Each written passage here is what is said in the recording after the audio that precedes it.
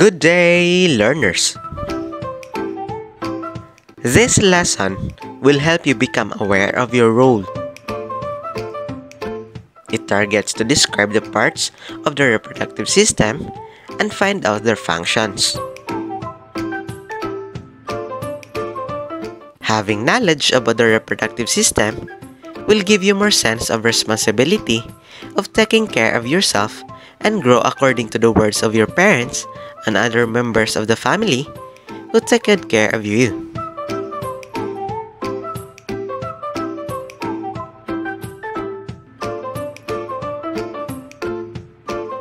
Males and females have unique reproductive system to perform reproduction.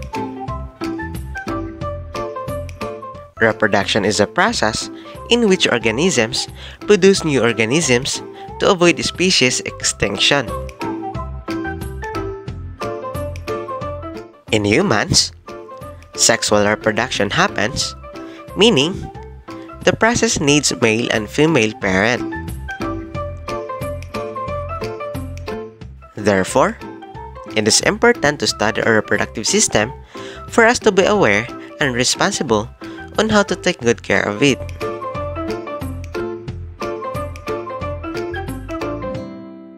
Let's take first the parts of the male reproductive organ.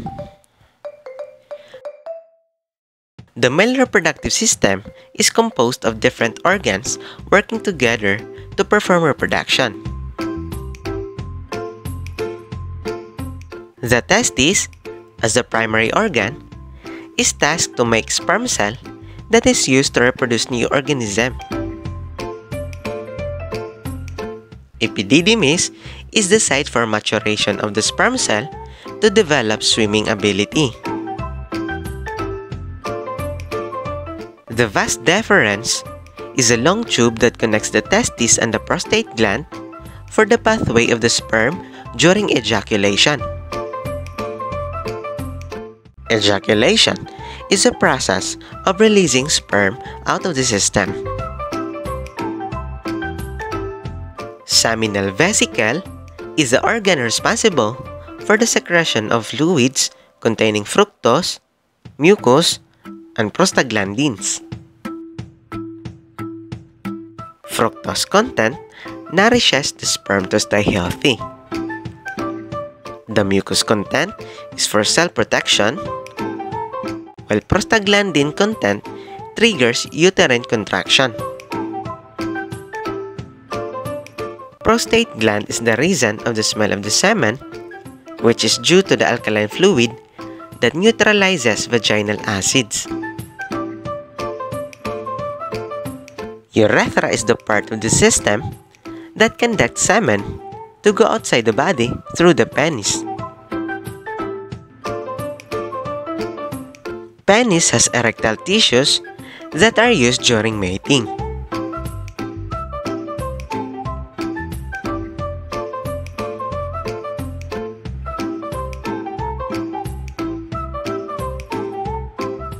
We come now to the parts of the female reproductive organ. The female reproductive organ is primarily responsible for the production, maintenance, implantation, and elimination of egg cells. The ovary is where the egg cells get matured and is released.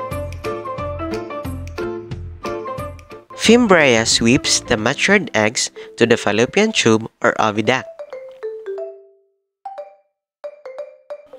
The egg goes to the uterus wherein eggs may be either fertilized in the presence of sperm cell or eliminated by means of menstruation. During implantation, the part called endometrium, aligning in the uterus, thickens to do the process. Vagina is the passage going to the uterus. It is where the penis is inserted and menstrual blood goes out.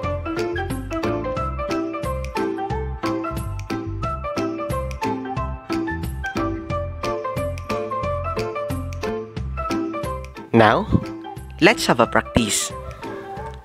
What you are going to do is just to say MR if the given word is a part of the male reproductive system and FR if it's a part of the female reproductive system.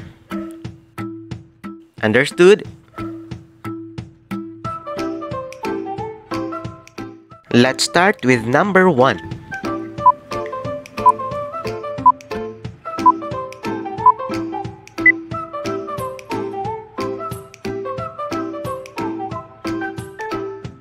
Number 2.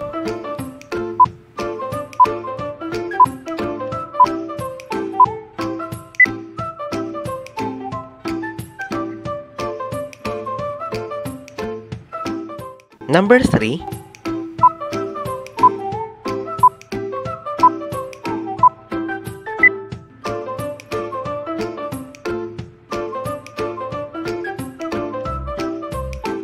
Number 4.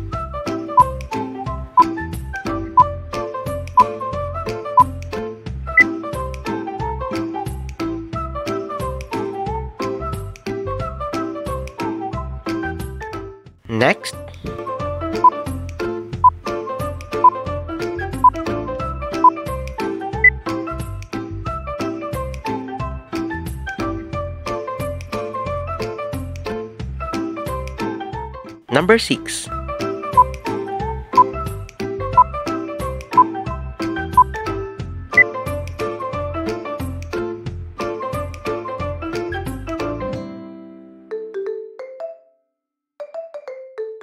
Then number 7.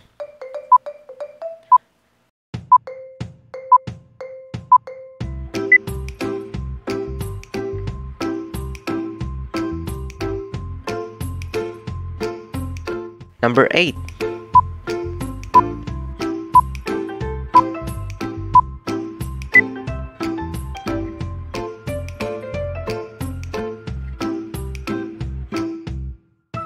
Number 9.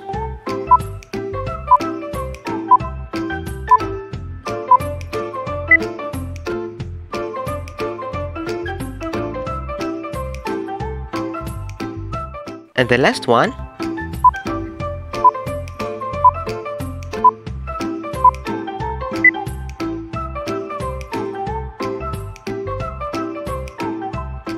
Good job, kids.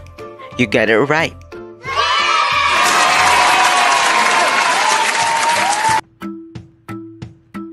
Now, let's take a look again at the different parts of the male and female reproductive system.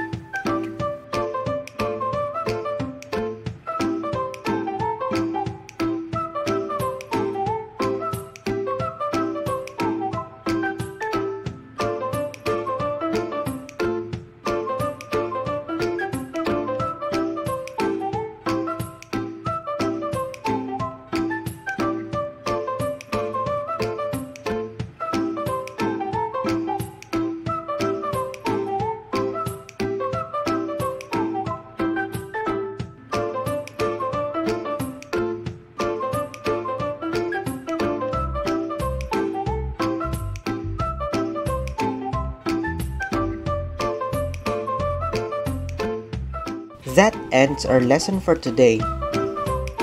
I hope you learned something from the discussion.